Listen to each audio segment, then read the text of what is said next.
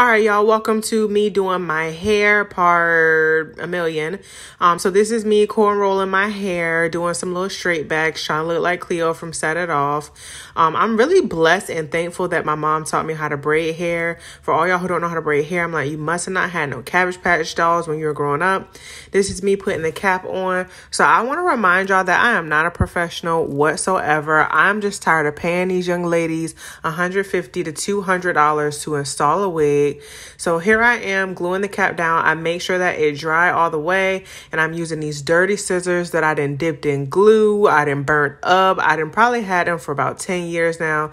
Now I'm going ahead and putting the makeup on top. This is to blend it in and make it look like scalp.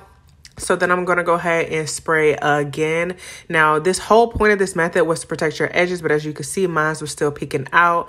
So now I'm going to go ahead and try and push this back. Now, I have no idea how to plug, so it's giving really it's not giving hairline, but you know, I'm doing the best that I can.